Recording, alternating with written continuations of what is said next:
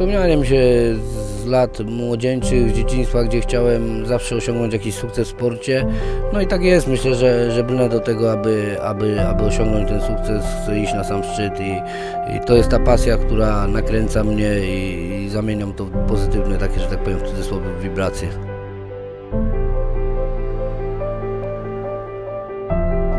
Mi się podoba, tak? Zawsze trenowałem judo i to judo tak naprawdę e, zainspirowało mnie do sportu walki.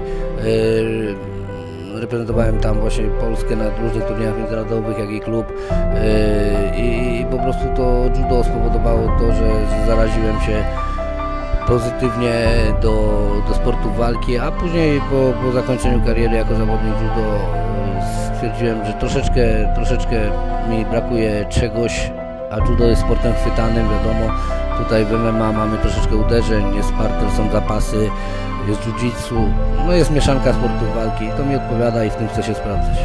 Ze mną już jutro, samo południe na portalu łączy nas pasja.pl, zapraszam.